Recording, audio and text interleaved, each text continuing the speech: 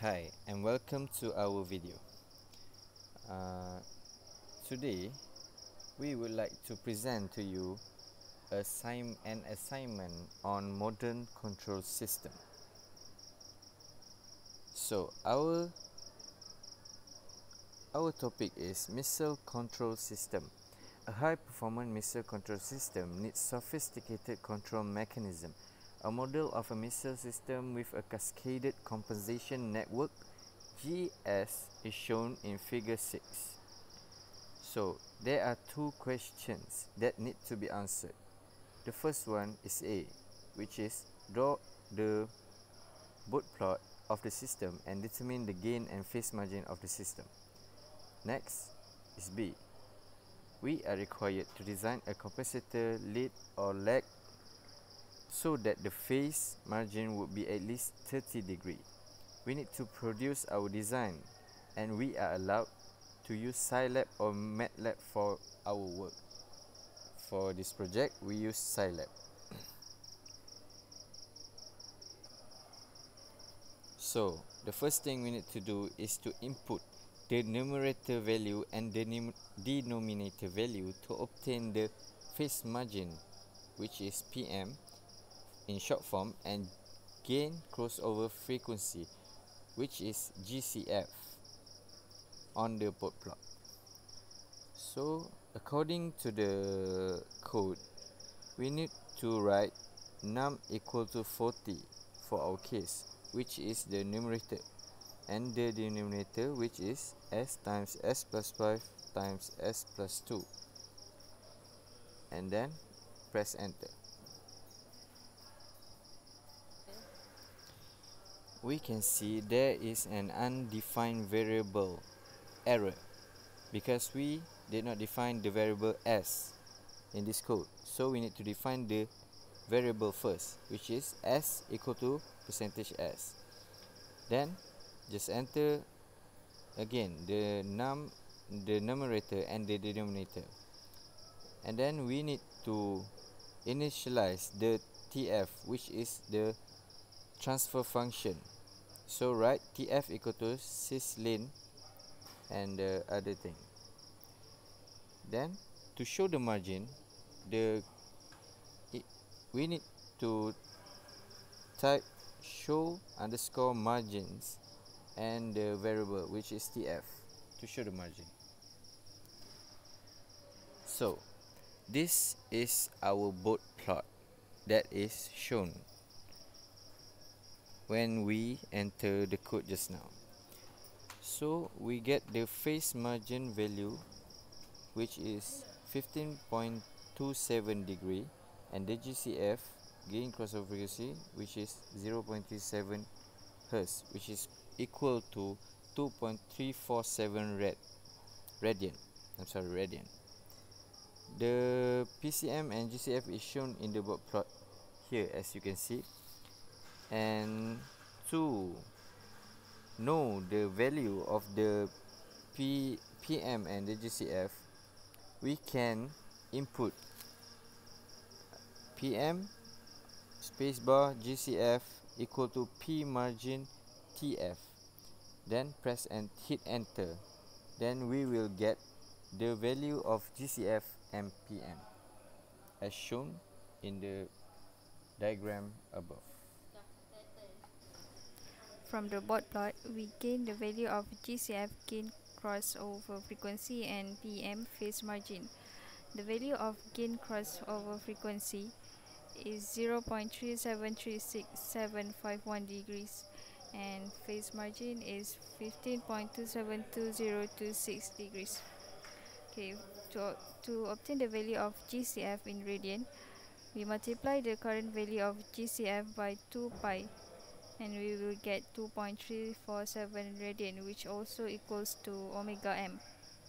Then to obtain the additional phase we minus 15.27 degrees from 30 degrees and we get 14.73 degrees.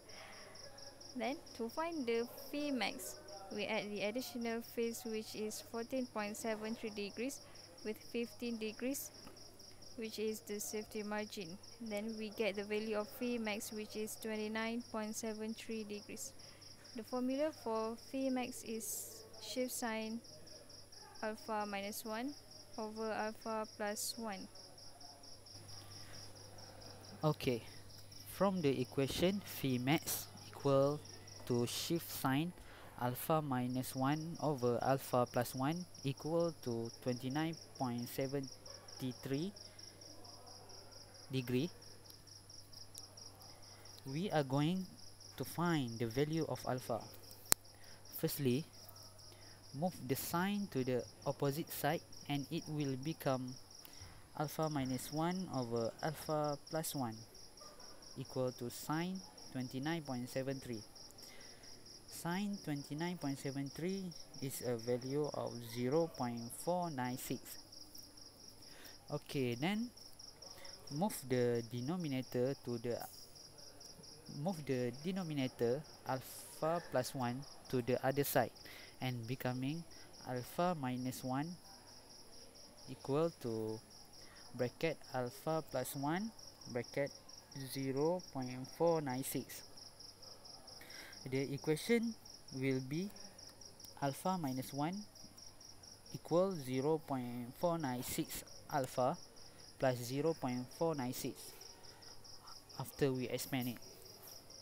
Next we make the make the equation equals to 0 then we are then we are managed to find the value of alpha which is 2.968 the formula for omega m is 1 over tau times square root of alpha omega m equals to 2.347 radian and alpha equals to 2.968 we are going to substitute the value of omega m and alpha into the equation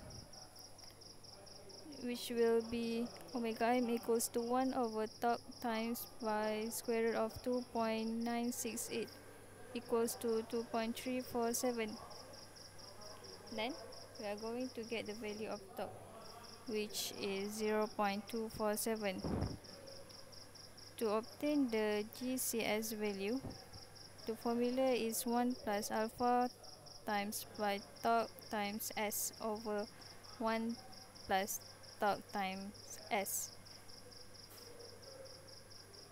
equals to 1 plus 2.968 times by 0.247 s over 1 plus 0.247 s then we are going to get 1 plus 0 0.733s over 1 plus 0 0.247s.